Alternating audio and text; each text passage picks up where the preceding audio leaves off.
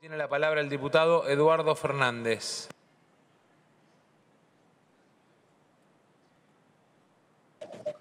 Gracias, presidente.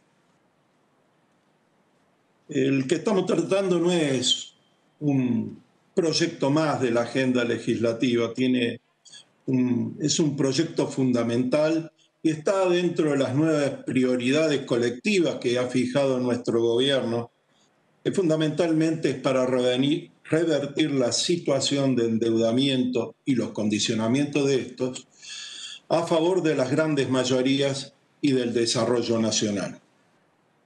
Este proyecto es a favor de un modelo de país sostenible y soberano.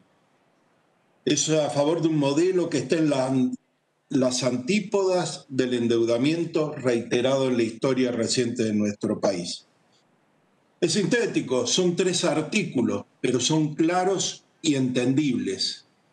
Muchos viejos legisladores decían que cuando una ley la entiende la mayoría de la gente, en realidad es importante porque legisla cosas importantes, tanto el tope fijado para los títulos públicos, la obligatoriedad de que todo programa de financiamiento con el FMI sea ley o la prohibición de financiar gastos corrientes.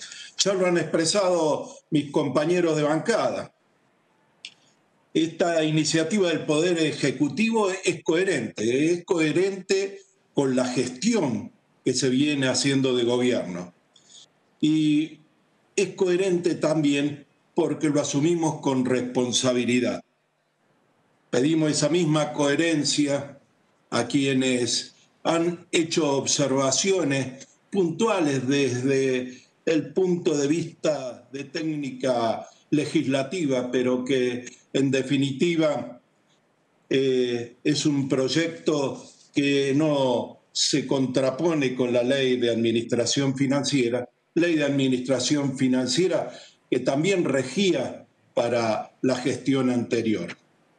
Sí quiero dejar aclarado a lo largo del debate, se ha dicho varias veces que el proyecto devuelve facultades al Congreso. Y la verdad resulta cuanto menos inexacto esta afirmación. Estas facultades fueron negadas por la administración anterior y Juntos por el Cambio eh, eh, tuvo, resolvió una deuda de forma express, discrecional, inconsulta y corporativa. Entonces endeudó a la Argentina hasta más del 90% de su PBI y aumentó un 76% la deuda externa. A la luz de esa experiencia es que nosotros venimos a proponer a este Congreso la sanción de esta ley. También se han dicho que... Eh, Discúlpeme, diputado Fernández. Eh, mantengamos el silencio, por favor. Gracias. Adelante. El problema grave no es la interpretación que surja con la ley de administración financiera, no, es la coherencia entre lo que hace un gobierno y la legislación que propone un gobierno y la respeta.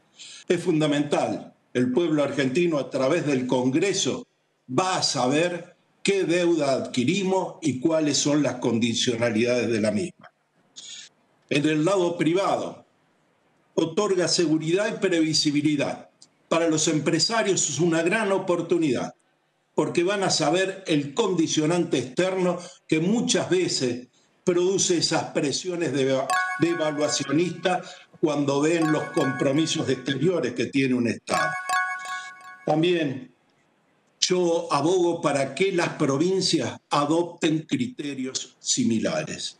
Me voy a permitir disentir con el diputado de mi provincia que dijo que la renegociación de la deuda fue exitosa.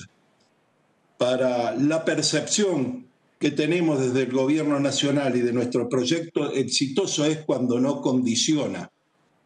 Exitoso es no solo haber logrado un arreglo, sino hacerlo sostenible. Y es lo que esta ley le está proponiendo al pueblo argentino y espero la transformemos entre todos en ley y no busquemos excusas o atajos supuestamente jurisprudenciales para eh, oponerse a alguno de los artículos. Gracias, señor presidente. Gracias, diputado Fernández.